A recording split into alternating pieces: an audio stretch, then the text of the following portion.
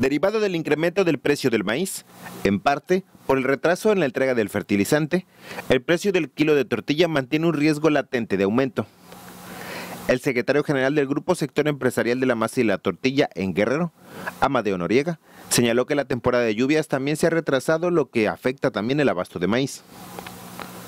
Explicó que en estos momentos se termina la cosecha de temporada y se cruza con la temporada de Sinaloa, Jalisco y Guanajuato, lo que también encarece el producto. Nos está costando alrededor de 4.200 la tonelada y ahorita está rebasando los 5.600, 5.800. O sea que es una cantidad importante, ¿no? Eh, eso le unamos a, los aumentos de los insumos, eh, los energéticos, gasolina, gas, no, no, no paran. Entonces, siempre en estos momentos en los que estamos es latente la, y, es, la incertidumbre en el alza de precios o el ajuste de precios.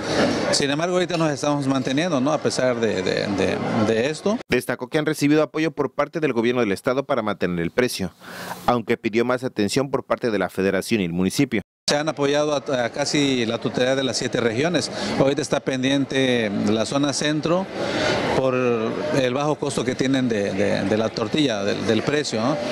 Entonces casi todo en, toda la totalidad de la entidad se están manejando un promedio de 20 pesos eh, el kilo.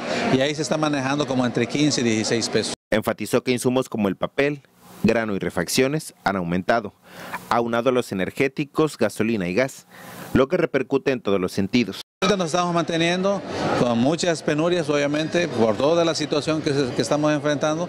Entonces, eh, sí es una realidad eh, en lo que estamos nosotros. Sabemos eh, que muchas situaciones, inclusive en el traslado, no llegan aquí, por eso se encarece, por las situaciones que está enfrentando toda la comunidad. Israel Ricardi, Noticieros Televisa.